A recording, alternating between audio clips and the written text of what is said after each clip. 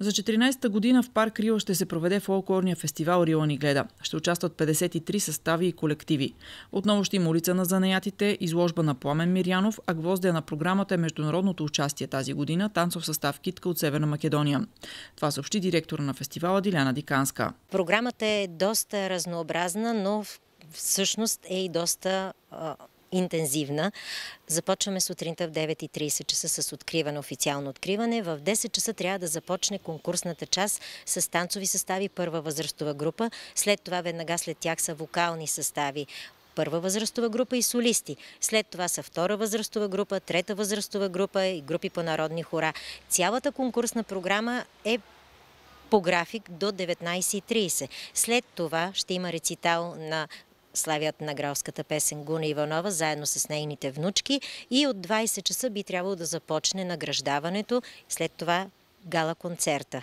Накрая тази година предвиждаме не само зрителите да бъдат а, нями участници в фестивала, а след закриването на фолклорния фестивал да има фулкотека под звездите. Представителният танцов състав Зора представя нов танц, който е а, танц на професионален фолклорен ансамбъл Пирин Благоевград. Това е новото в програмата на нашите състави. Другите композиции са а, стари, но са пресъздадени по различен начин. Всяка година ние използваме голямото пространство на а, парка, на сцената, а сега ще бъдат всички изпълнения единствено и само на сцената. Искам да благодаря на Община Дупница и кмета господин Първан Дангов, на всички спонсори и спомоществователи, които за поредна година подадоха ръка така и можем 14-то издание на фолклорния фестивал Рила ни гледа със спокойствие да го реализираме.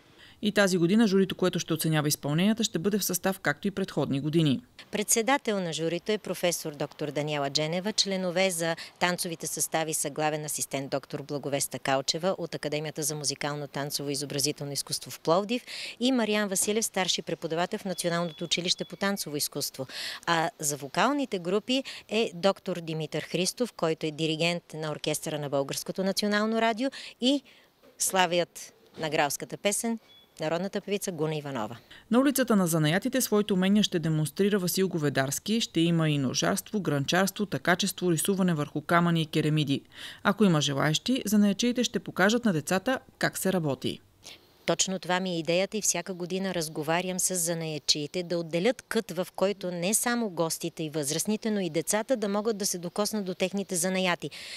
Интересно е, че в годините няма голям голямо желание от страна на децата да се включат. Надявам се тази година да имат амбицията и да могат да научат нещо ново, което е от забравените стари занаяти. Същото се отнася и за гранчарското колело.